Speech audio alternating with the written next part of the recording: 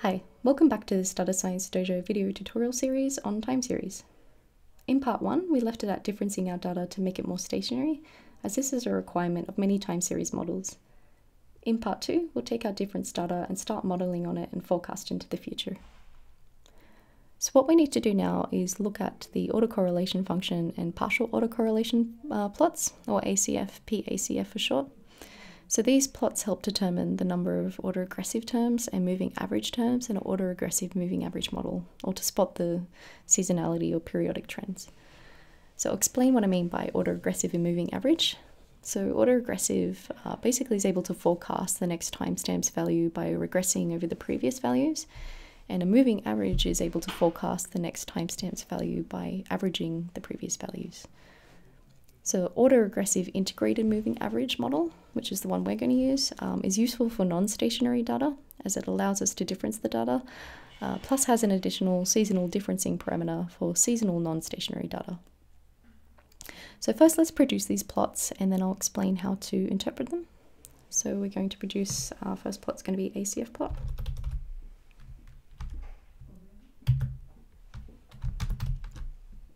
On our difference data.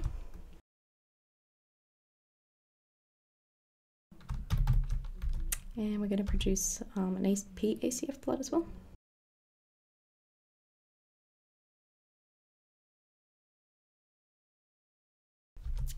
Okay, let's have a look at these.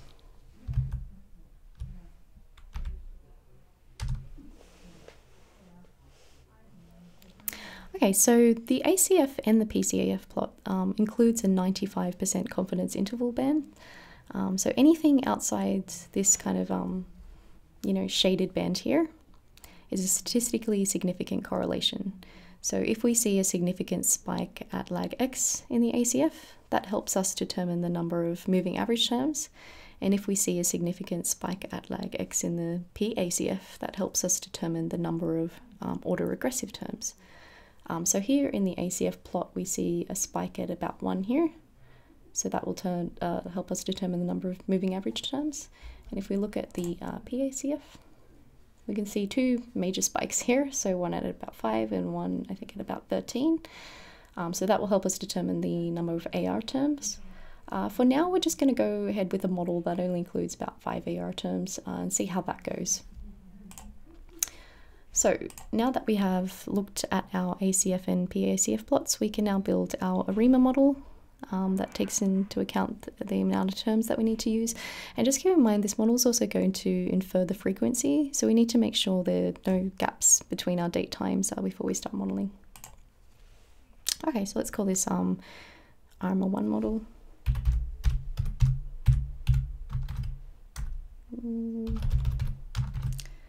Um, hourly sentiment, that'll do.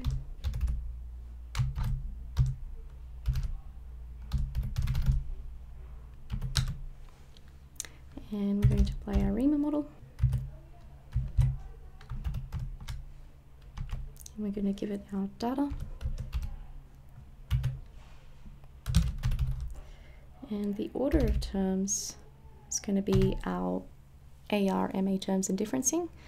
So first we'll put in number of AR terms here, two rounds of differences or two sets of differences, and one MA term here.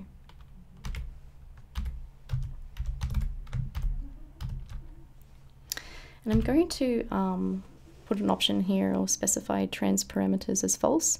Um, this kind of ensures, if you set it as true, ensures that um, things are kept stationary, but you'll see why I have to set this as false later on in the video tutorial series um, when we talk about issues with our model.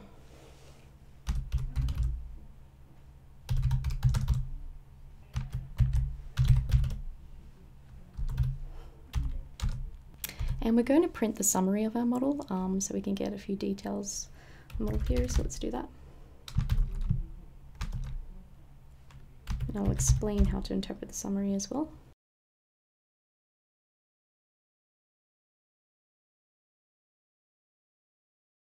Okay, let's go ahead and run this.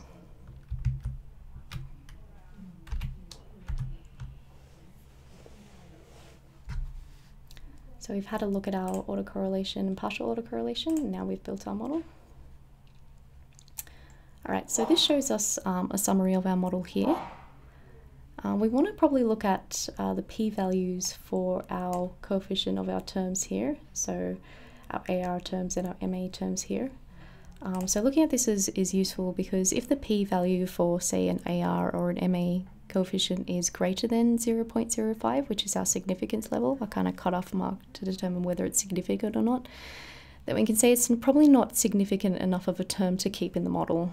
Um, so having a look at this, we might want to remodel and include only this AR, uh, term here, as the other ones might not be necessary. Um, but for the purpose of demonstration, let's go ahead um, and then we'll discuss issues with our model later on. So, next step is uh, we want to predict the next five hours um, on the next five timestamps ahead, which is our test holdout set. So we'll comment these out so they're not too much of a distraction.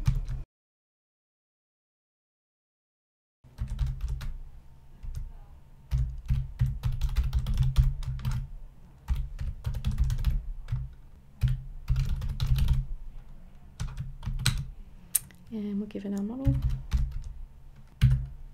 And we'll use the predict function here. And I'm going to uh, give it the timestamps from the last uh, timestamp was basically 6 p.m.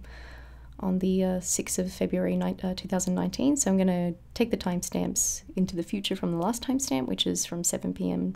to 11 p.m. on the five timestamps ahead. So let's do this.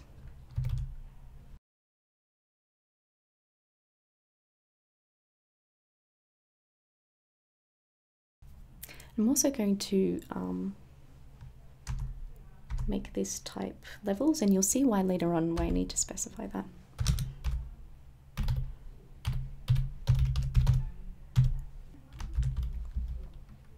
Okay, let's run this.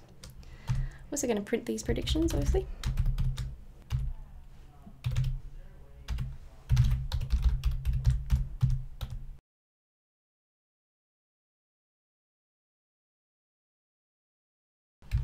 Okay, let's run this.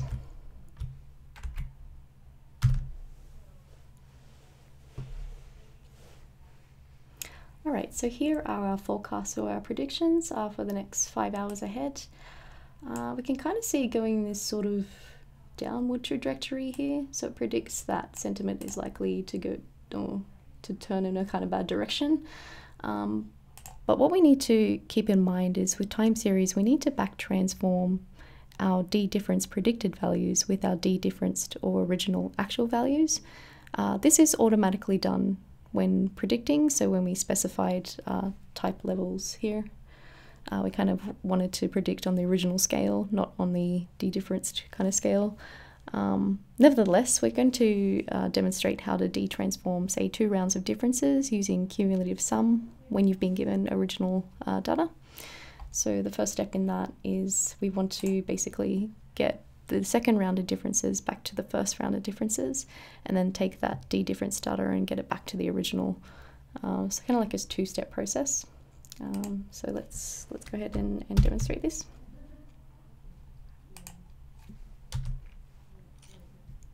So as I said, we want to get our second round of differences back to the first round. Um, so we'll just call this undiff1.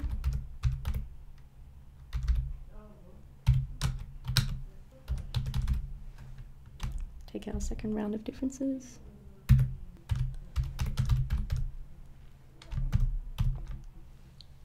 And we're going to fill in any missing values just so they don't cause us any problems.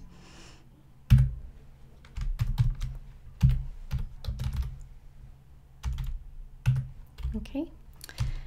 And the next step, we want to get that difference data, um, or undifference data, back to the original. So we'll call this undiff2.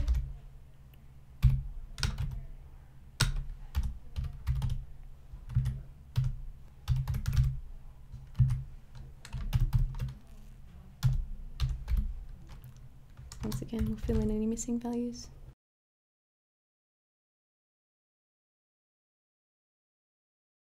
Okay, now we can compare these. Um, so the difference, or they're going to be very small differences between our original data and our undifference data, um, but we're going to round it up to six places after the decimal point. I mean, our values only come in six places after the decimal point anyway, so they're not very big differences to care about, um, but they're essentially the same uh, when we do round it up six places past the decimal point. So let's have a look at this.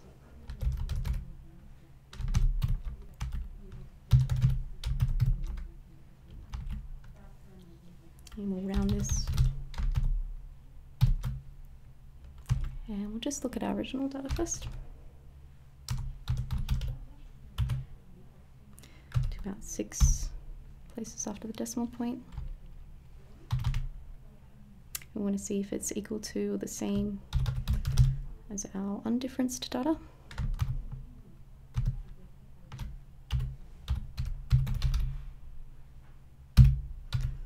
also to the six places after the decimal point.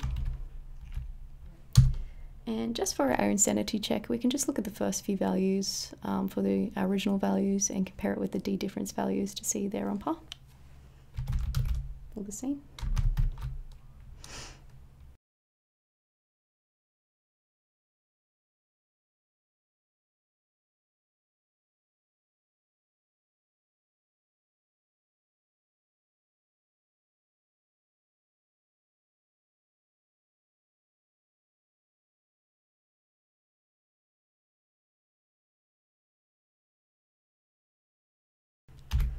Okay, let's have a look at this.